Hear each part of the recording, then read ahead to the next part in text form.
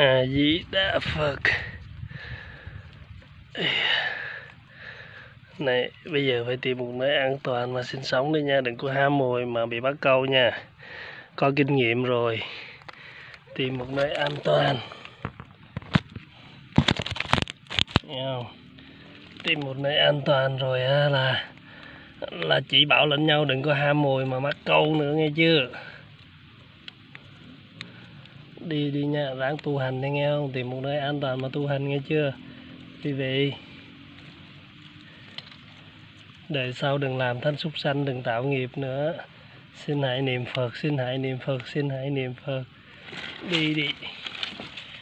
Đi đi.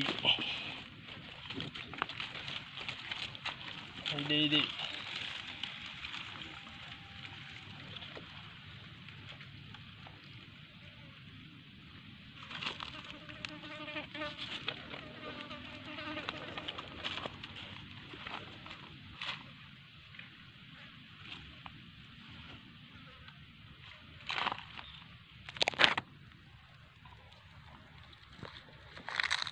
Đi đi, tìm đường mà đi đi.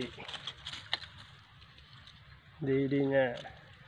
A di đà phật, a di đà phật.